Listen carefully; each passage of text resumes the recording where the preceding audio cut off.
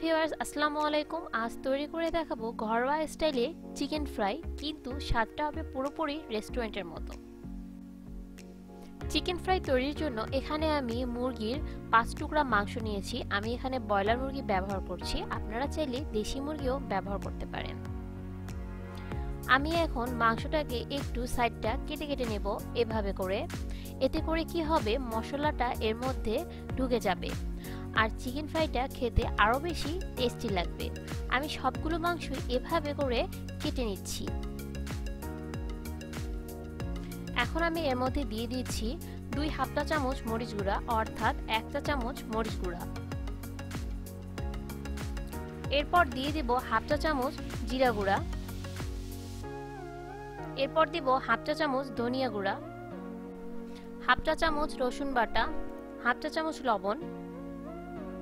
দুই চা চামচ মিষ্টি দই, আপনারা চাইলে টক দইও ব্যবহার করতে পারেন। এখন আমি সবগুলোকে একসাথে ভালো করে মেখে নেব। খুব ভালো করে মেখে নেব যাতে করে মশলাটা মাংসের মধ্যে ভালোভাবে ঢুকে যায়। আমার হাতে সময় আছে, তাই আমি এখন মাংসটা ম্যারিনেট করার পরে আধা ঘণ্টার জন্য ডিপ ফ্রিজে রেখে দেব। যদি আপনাদের হাতে সময় না থাকে, তাহলে কিন্তু ফ্রিজে রাখার কোনো প্রয়োজন নেই, এভাবেও ভাজতে পারবেন।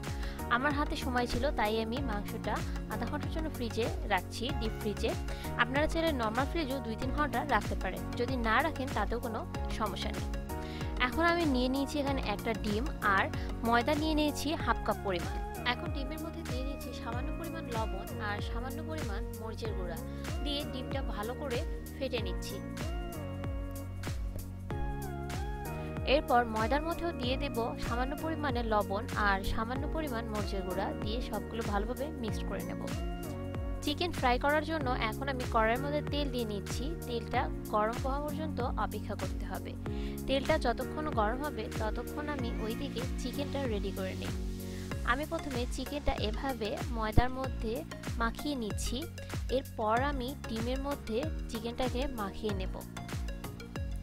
এরপর আমি আবার ময়দার মধ্যে চিকেনটাকে মাখিয়ে নেব। খুব বেশি ময়দা মাখাতে যাব না, এতে করে এর লেয়ারটা বেশি পুরো হয়ে যাবে। আমি লেয়ারটা পুরো করতে চাচ্ছি না, তাই আমি ময়দাটা হালকা করে মাখিয়ে নেব। এরপর আমি ডুবো তেলের মধ্যে চিকেনটা ছেড়ে দিচ্ছি। আমি একইভাবে বাকি চিকেনগুলো তেলের মধ্যে দিয়ে দেব। মিডিয়াম আঁচে রেখে চিকেনটা ফ্রাই করে নেব। কিছুক্ষণ ফ্রাই হওয়ার পর চিকেনটা যখন ব্রাউন কালার চলে আসবে, তখন বুঝতে হবে চিকেনটা পারফেক্টলি ফ্রাই হয়ে গিয়েছে। আমার চিকেনটা ব্রাউন কালার হয়ে গিয়েছে। এখন আমি এটা চুলা থেকে নামিয়ে নেব। আমার চিকেন ফ্রাই রেডি। দেখলেন তো কীভাবে খুব সহজে ঘরেই তৈরি করে ফেললাম মজাদার সুস্বাদু চিকেন ফ্রাই। কিন্তু এর স্বাদটা কিন্তু পুরোপুরি রেস্টুরেন্টের মতোই। তাহলে বাসায় একবার অবশ্যই ট্রাই করে দেখবেন। সবাই ভালো থাকবেন। আল্লাহ হাফেজ।